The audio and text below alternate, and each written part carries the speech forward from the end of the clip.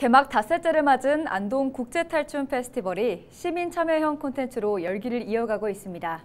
특히 올해는 축제의 공간이 옛 안동역과 탈춤공원, 원도심까지 확장되면서 안동 시내 전역에 신명과 흥으로 들썩이고 있습니다. 이하영 기자가 보도합니다.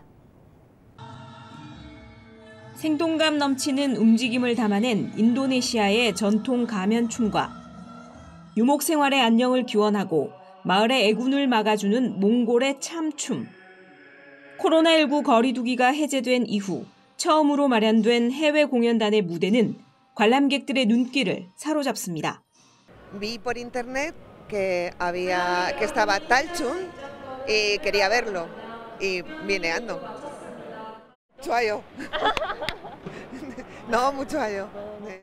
탈을 쓴 모두가 참여할 수 있는 탈놀이 대동난장과 탈 탤런트 세계 탈놀이 경연대회는 물론 올해 새롭게 시도된 주민자치 경연대회는 축제의 신명을 더합니다.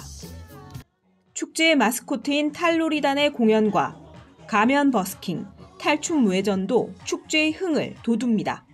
이번 축제를 계기로 해서 안동에 정말 많은 사람들이 왔고요. 특히 하이마을에는 주말에는 5만 명 이상이 방문할 정도로 많은 관광객들이 안동을 찾아오고 있습니다. 앞으로 더 많은 콘텐츠, 즉 재미와 감동을 주는 콘텐츠를 개발해서 세계인이 찾아오는 그러한 축제로 발전시키도록 하겠습니다.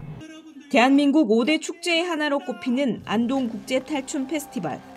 탈춤 축제만의 색다른 프로그램과 풍성한 콘텐츠로 안동 시민과 국내외 관광객들의 발길을 이끌고 있습니다. 헬로티비 뉴스 이하영입니다.